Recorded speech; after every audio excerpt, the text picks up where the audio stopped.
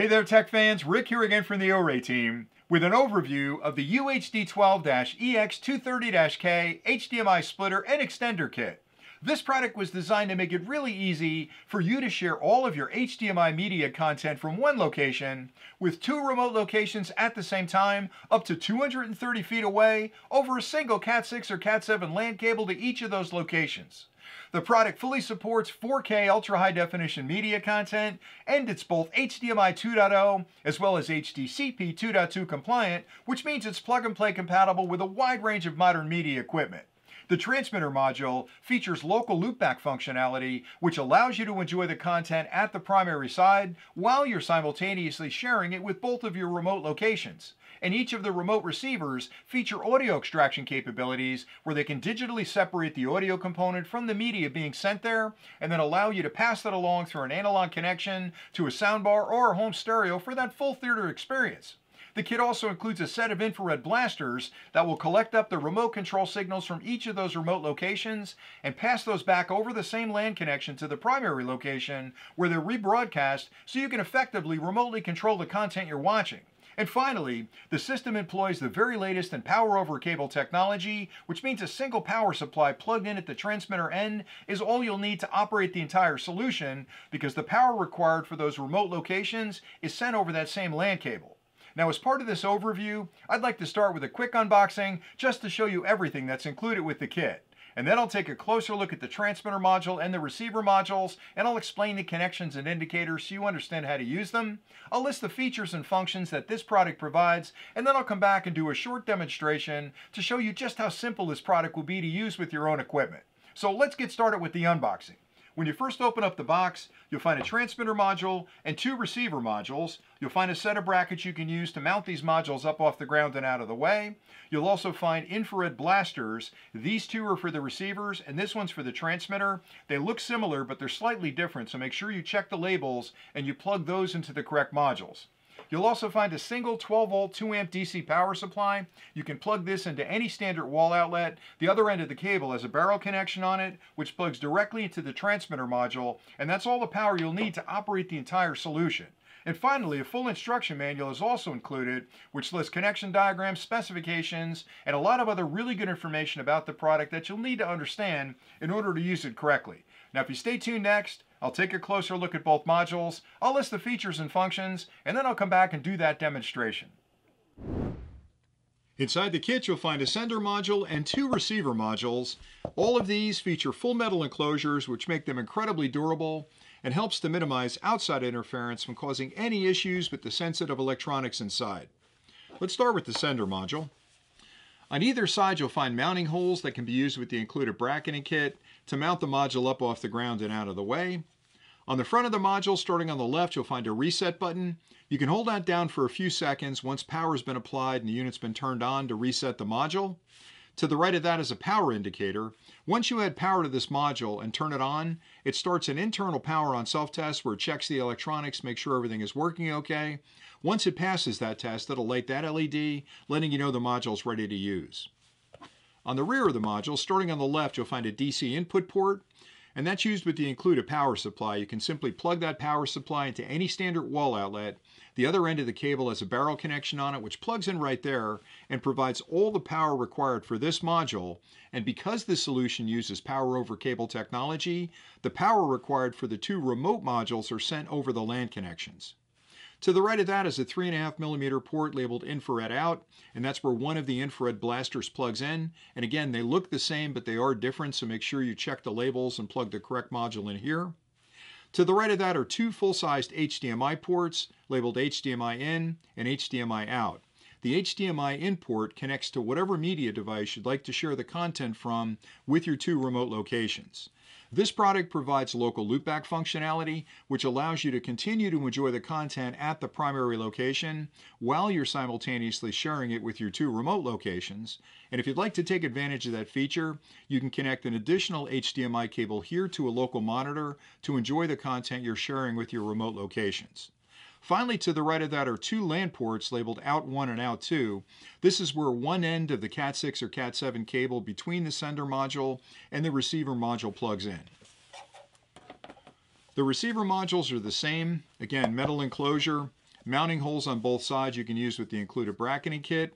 On the one end, you'll find a DC 12 volt input port. You won't need to use that because again, because of the power over cable technology, the power required for this module is sent over the LAN connection.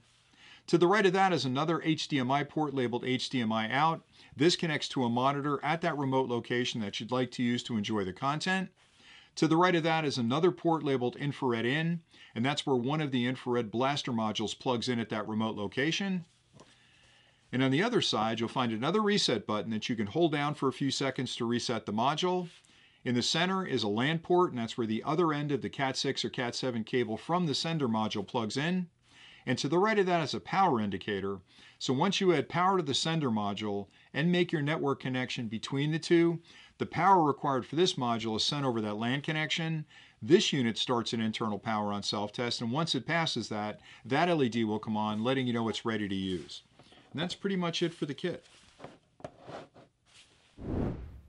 The OREI UHD12-EX230-K is compatible with most modern HDMI media sources, including computer systems, digital projectors, media players like Apple TV, game consoles, and streaming devices.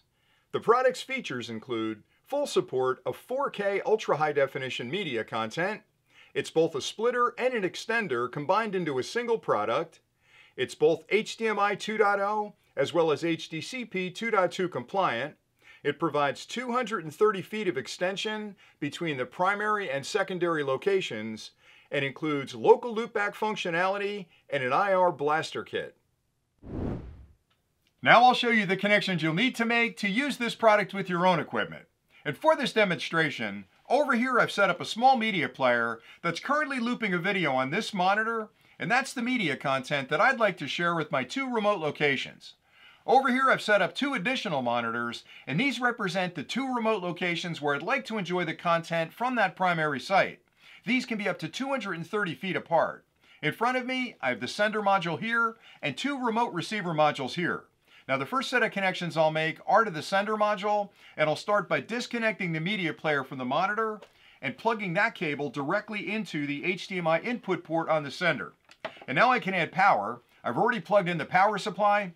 The other end of that cable has a barrel connection on it, which plugs directly into the DC input port on the sender module. Now one feature this product provides is local loopback functionality because you'll notice I can no longer enjoy the content at the primary side when I'm sending it to the remote side. But local loopback allows me to continue to enjoy the content here by adding one additional cable. So you'll need another HDMI cable and you can plug that into the monitor at the primary side and plug the other end of it into the HDMI output port on the sender module. And that allows you to continue to enjoy that content here while you're simultaneously sharing it with your remote locations. And now we're ready to connect the remote receivers up at those remote locations. I've already connected two high-speed HDMI cables up to the monitors, and these plug into the HDMI output ports on both of the receivers. And once I've made those connections, all we're missing at this point is the LAN connection between the sender and the remote receivers. And that has to be a Cat6 or a Cat7 cable. I have two Cat6 cables right here. Now, the first thing I want to point out is you'll notice there is no power supply required at the remote locations. And that's because this system uses power over cable technology, which means once I add power to the sender module, all the power required for the remote receivers is sent over the same LAN cable along with the video and the audio. So watch what happens when I plug one of these LAN cables into this receiver. You'll notice the power indicator came on. And again, that's because the power is being sent over that LAN cable. Now the minute I add power over here, these immediately start an internal power on self-test as well, where they're checking the electronics, they're checking the resolution of the monitors, and they're handshaking with the sender module, and there you go. So what you're viewing here is content from the primary side that starts out as an HDMI signal. It's then converted and split in the sender module into signals that can be sent over these LAN cables and then converted back into an HDMI signal for display in these monitors. And it's really just that easy to get it working. I hope you found this overview of the OREI UHD12-EX230-K HDMI splitter and extender kit helpful. This product provides a really easy way for you to share all of your media content with two remote locations at the same time, up to 230 feet away from the primary location, over a single Cat6 or Cat7 LAN cable to each of those locations. The product fully supports 4K ultra high definition media content, and since it's both HDMI 2.0 as well as HDCP 2.2 compliant, it's essentially plug and play compatible with all of your modern media gear. The local loopback function on the transmitter allows you to continue to enjoy the content at the primary location while you're simultaneously sharing it with both your remote locations. The audio extraction capabilities on the receiver allow you to pass that audio along to a soundbar or home stereo for better quality audio. The infrared blasters allow complete remote control from both of those remote locations, and the power over cable technology greatly simplifies your wiring because a single power supply at the transmitter side is all you'll need to operate the entire solution. Everything you need to get started is included with the kit, and with a few simple connections, you can be up and running in no time. So until next time, thanks again for watching.